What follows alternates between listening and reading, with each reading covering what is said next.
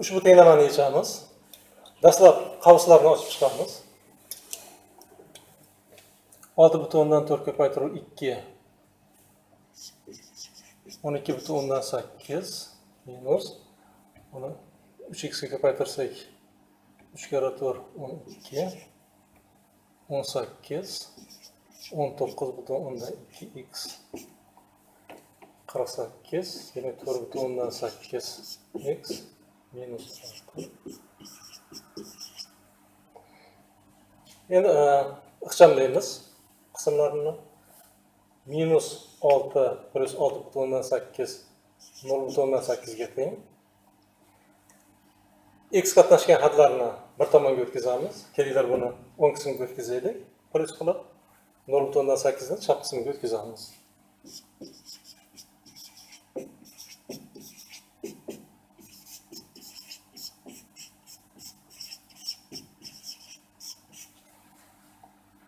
ixchamlaymiz endi o'n ikki hosil bo'ladi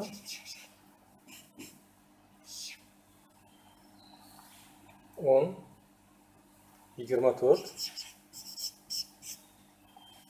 Xni topish uchun yigirma to'rtga bo'lamiz.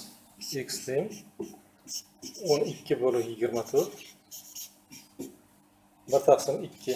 O'n ikkiga qisqartirsak bir taqsim ikki qoladi. Yoki nol butun o'ndan besh. Shunday qilib berilgan tenglamaning ildizi nol butun o'ndan beshga teng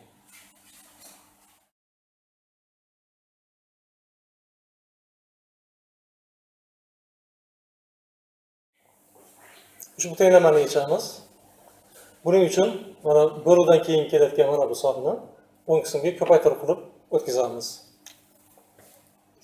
O'n sakkiz butun uchdan bir qo'shib x teng yetti ko'paytiruv mana bu son bu sonni biz oddiy kasrga keltirib yozamiz.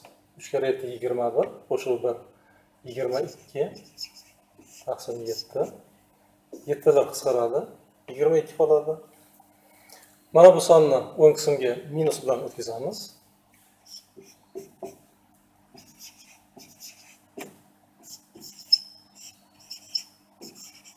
Teng. Yigirma ikkidan o'n sakkizni ayirsak to'rt bo'ladi. To'rtni ham e, uch qo'shuv bir deb yozishimiz mumkin.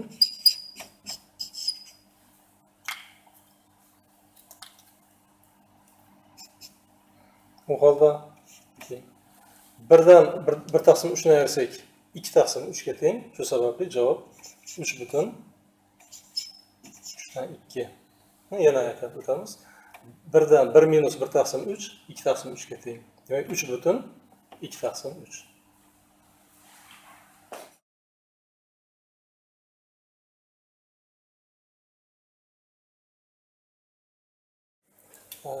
Ushbu tenglamani ko'rib chiqamiz. Mahrajlarda to'rt sakkiz va ikki sonlari kelyapti. Bu kasrlarga umumiy mahraj sakkiz bo'ladi. Shu sababli tenglamani har ikkala qismini sakkizga ko'paytirsak u holda mahrajlardan qutulamiz.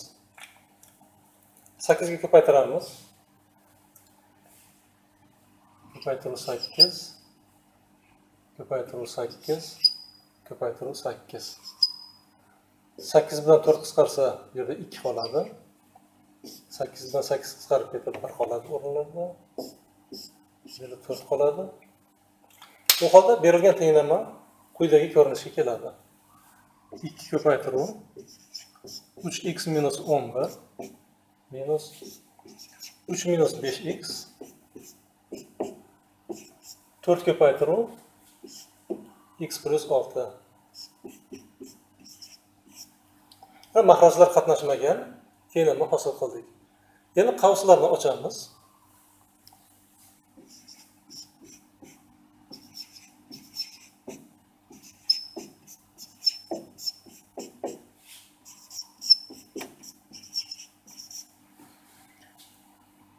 Chap va o'ng qismlarini ixchamlaymiz.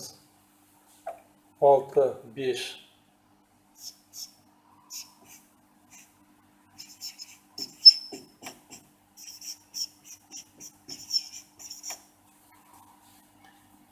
Xli hadlarni chap qismga x qatnashmagan hadlarni o'ng qismga o'tkazamiz.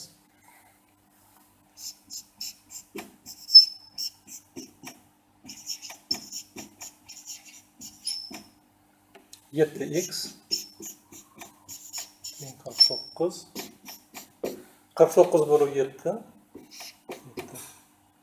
Shunday qilib berilgan tenglamaning ildizi x barobar yetti.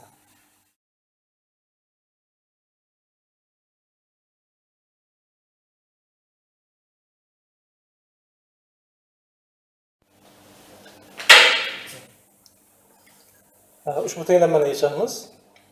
Bu yerda noma'lum xat mana bu qavsni ichida kelyapti. Shu sababli biz o'n ikki va mana bu qavsni o'rnini almashtirishimiz mumkin.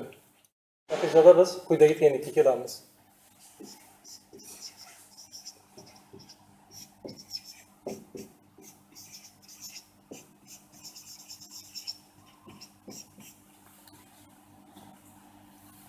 Bo'lamiz. To'rt yuz yigirmani o'n ikkiga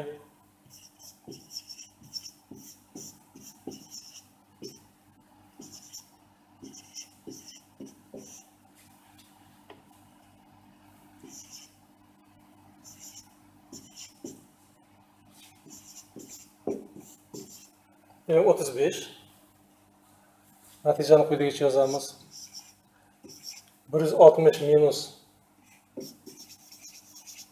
ming bo'lib x teng o'ttiz beshga e, x mana bu xatda qatnashyapti o'ttiz besh bilan bu xatni o'rnini almashtiramiz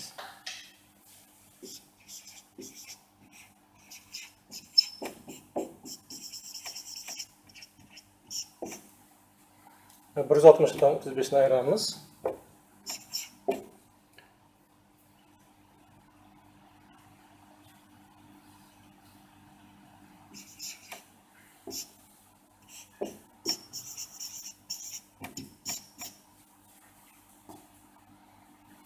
endi x bilan bir yuz yigirma beshni o'rnini almashtiramiz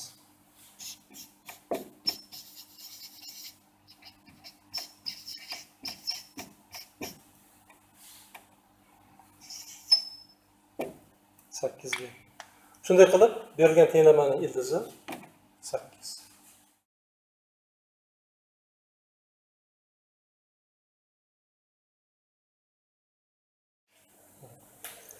Ushbu ayniyatdan noma'lum koeffitsient alfani topamiz.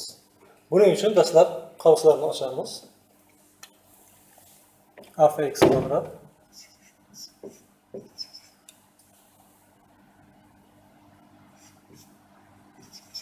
Uch alfa x y. Ikki x y. Olti y kvadrat. O'ng qismini o'zini yozamiz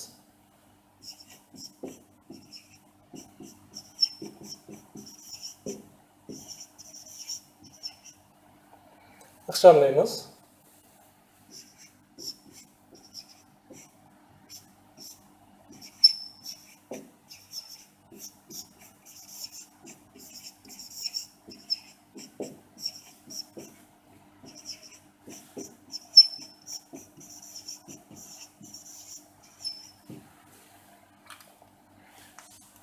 tenglik ayniyat bo'lishi uchun mos koeffitsientlari bir biriga teng bo'lishi kerak. X kvadrat oldi koeffitsiyentlar bular teng alfa teng alfaga tenglik o'rinli. X y oldidagi koeffitsientlar ya'ni uch alfa minus ikki beshga teng bo'lishi kerak.